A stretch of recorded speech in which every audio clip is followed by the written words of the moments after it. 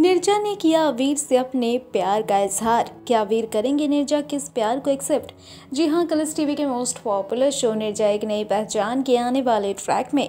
आप देखेंगे कि कैसे अबीर निर्जा से मिलने जाएँगे पुलिस स्टेशन जिस दौरान। अबीर निर्जा से कहेंगे कि उन्होंने शेख को गिरफ़्तार करवाया और उनके परिवार की मदद की। इसके लिए वो निर्जा को शुक्रिया कहने आए हैं। ऐसे में निर्जा अबीर को कहेंगी कि वो यहाँ से चले जाए, जबकि अबीर निर्जा से सच जानना चाहेंगे कि आखिर क्यों?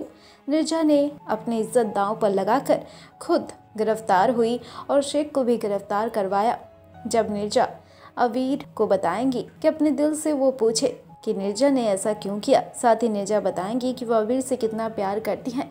जिसे सुनकर अबीर के होश उड़ जाएँगे। लेकिन अब ये देखना बाकी बेहद दिलचस्प होगा कि क्या अबीर निर्जा किस प्यार को करेंगे एक्सेप्ट टेलीविज़न से जुड़ी इसी तरह की लेटेस्ट अपडेट एंड गॉसिप के लिए हमारे चैनल पर नज़र रखिए और हमारे चैनल को सब्सक्राइब करना और बेलाइकन को प्रेस करना बिल्कुल ना भूलें।